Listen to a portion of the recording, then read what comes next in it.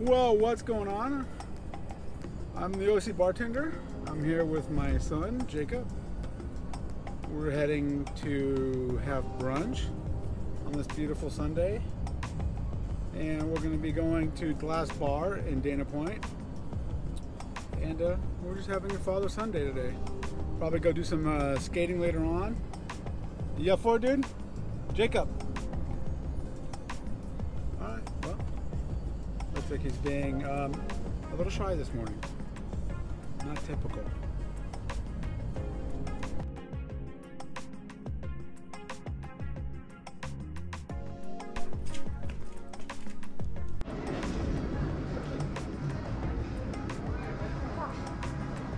having issues? so we're having breakfast here at Glass Bar. Good job, dude brioche, French toast, Grand Marnier French toast. I'm looking forward to this. Good job, dude.